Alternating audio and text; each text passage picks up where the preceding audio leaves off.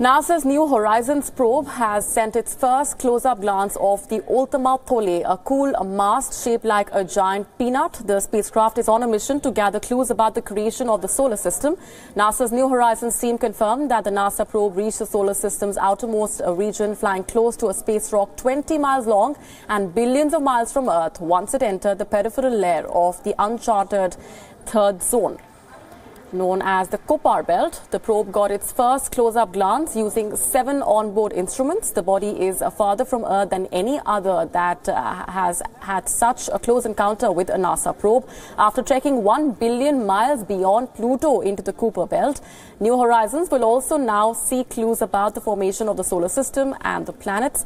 As the probe flies uh, 2,200 miles above Thule's surface, scientists hope it will detect the chemical composition of its atmosphere and terrain in what NASA says will be the closest observation of a body so remote. The best image of Ultima that we got pre flyby, and it's okay to laugh, but it's better than the one we had yesterday. It all, all there it is. Meet, meet Ultima.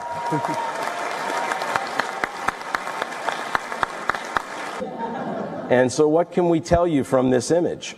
Uh, well, first, uh, we, we have a better handle on the size of Ultima. It's about 35 by 15 kilometers, and you can see a scale bar in miles there.